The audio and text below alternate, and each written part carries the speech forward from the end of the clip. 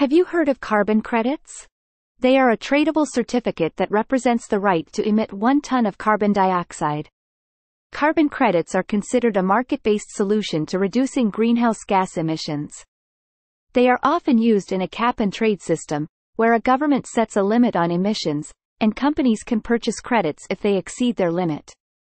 The credits are created by projects that work towards reducing emissions, such as renewable energy or reforestation. Each project is certified by an independent organization, ensuring the credits are legitimate and represent a genuine reduction in emissions. Carbon credits can be bought and sold on international markets, allowing companies to meet their emission targets at the lowest possible cost. This provides a financial incentive for companies to reduce their emissions and invest in sustainable practices. Carbon credits have been criticized for allowing companies to continue emitting carbon while justifying their actions with purchased credits. However, supporters argue that they encourage innovation and investment in clean energy, leading to a long-term reduction in emissions. Many countries have implemented cap and trade systems with carbon credits, including the European Union, China and South Korea.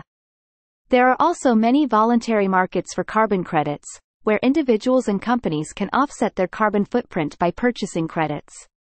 The cost of carbon credits varies depending on supply and demand, as well as the quality of the projects and certification.